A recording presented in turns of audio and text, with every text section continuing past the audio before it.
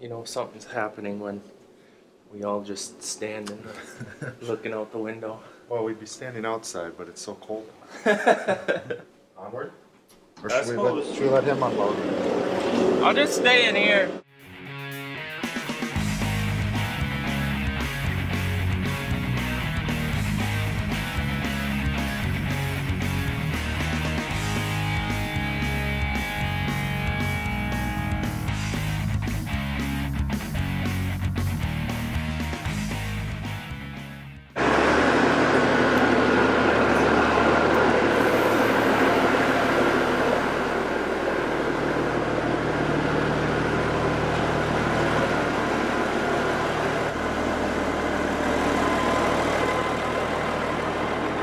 So dad's taking off with the truck. He's heading over to our other yard to pick up our hopper bottom that I thought we were storing over there all winter and all summer, but turns out we got a lot of corn contracted here, forward contracted last year for a price that I don't even want to admit because of the cash price being now over $5. But is what it is. You can't go back in time and it was a okay price when we forward contracted it, but now we got to move a ton of grain in early February. So and through February, so we got to haul with all three trucks. So we got to go get the trailer, but that other yard might be snowed in a little bit, so I'm to grab the Yankum rope in case we get stuck.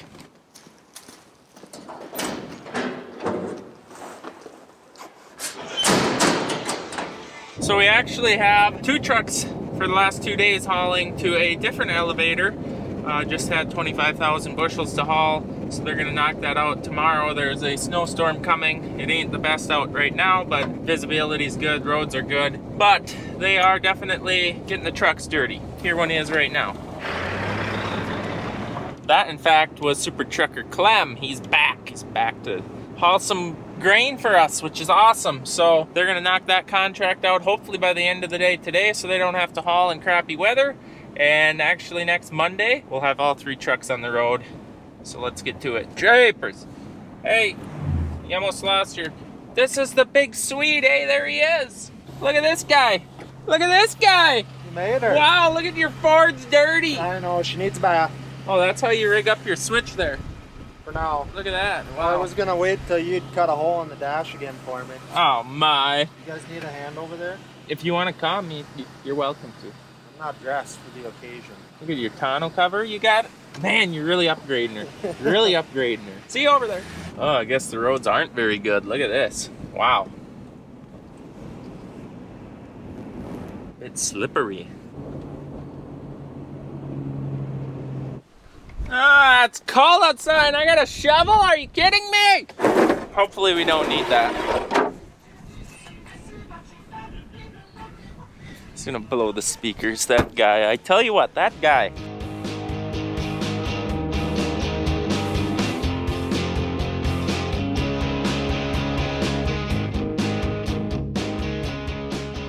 you think bats migrate in the winter? I don't know, I don't want another one coming down on me. That's always so exciting We- about the shed. You don't know if you're gonna live or die by the time you're done. We should migrate in the winter. Woo! I wish someone would buy those tires. Really dark in rims. here. It'd be great. Would be great. They're for sale. I don't even remember what they're priced at. I need rims for my pickup. Nine- 9,500 bucks or something. Would that fit on there?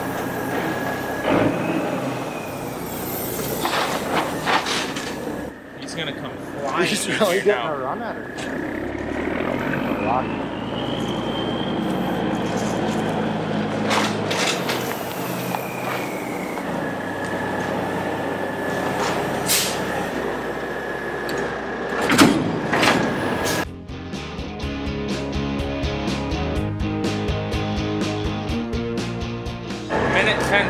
10 seconds, that's gotta be a record. You're really giving her on. Yeah. Oh, should have brought the one inch impact. Alright! Pull her out! Try back it up!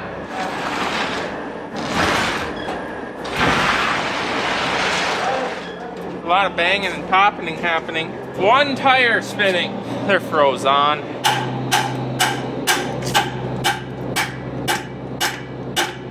got the uh, hammer out, I see. That's all we had.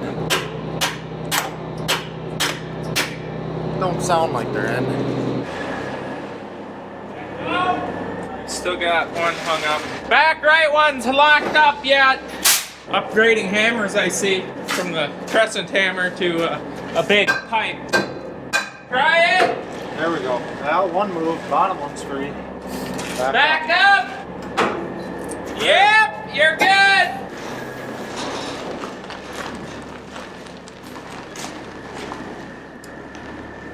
I'm so glad we have a heated shop to keep them in after running out on the roads, or we Yeah. do this every morning. Yeah. We're so blessed. Winters, gotta love it.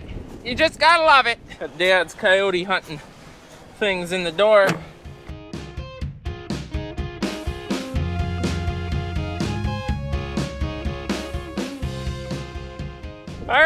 See it, farm.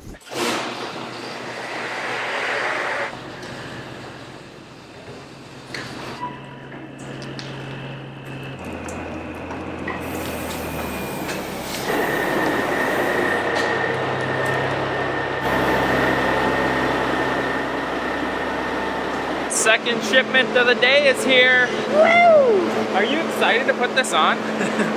Yeah, it looks light. Thousand pounds. Don't drop that on your toe. It is. This is a great, it's gonna be just like a DB now. Just thought I'd show you what's left of our nice wash job. Well, that ain't so bad. Got a little windy today, and it's stuck on the highways pretty good. Carrying a, I don't know, I'm gonna guess 800 pounds of ice. Guys from down south, you don't know how lucky you are. It's quite a mess. Quite a mess. Not to mention the salt that they were putting on trying to keep the roads from getting slippery. You get the idea. Eric! Got some work to do. Eric? Eric! Chet? Who wants to wash? What? Volunteers! Washing volunteers? I'm busy scraping over Busy scraping. I see Eric's bed is here. Where is he? Did he go to his couch? He heard you yelling and ran. look at this. Just take a look at this. Yeah. This is what uh, Larson Tight is all about. Well, we, we gotta didn't scrape know. the rust off of the O-rings for the bogey wheel seals. We didn't know that, that you don't have to do that with the red ones. And now we Yeah. know. Now we know. Buy new O rings when you're. Makes the project a lot better. Nah, that should be fine. No issues here. Good thing my knife's so dull I don't cut the O-ring. Here, I'm gonna leave you guys here with him, because I gotta go wash. what- Busy day today. A lot of stuff showed up. Got a side shield kit, big box. Yeah, who's gonna come and show us how to do that? It's a big box, lots of parts. Wonder, it's about the right size for a coffin. So those of you that asked the question, how we're gonna pull our NT style planter without a three point hitch on our 9420 RX, obviously some of you guys caught that, well, how come it don't have a three point hitch? How are you gonna do that? Well, we're not dumb. Of course, we didn't buy a tractor that we couldn't use on our planter. So you're gonna see what we just are getting delivered here and tell you a little bit of why we chose to go this route. Well, this is gonna allow us to not have a three-point hitch on the tractor. Otherwise, this is, how much? This is cheaper than a three-point hitch. Hey, he woke up. Oh, he's not feeling good. thinking he's food poisoned himself on some two week old pizza that he ate for breakfast. I've drank 10 of these, and I'm still pissing yellow. He's dehydrated himself. You know, there's always too much of a good thing. No more water for you today. Look at the poor big Swede. You need to go home, go home if you're down. So, anyways, this converts our two point NT 1770 planter into a drawbar, a lot like a DB. Comes out of Canada. Much cheaper. We went this route because it's very hard to find high horsepower tractors with three point hitches. They're out there, but they're really hard to find.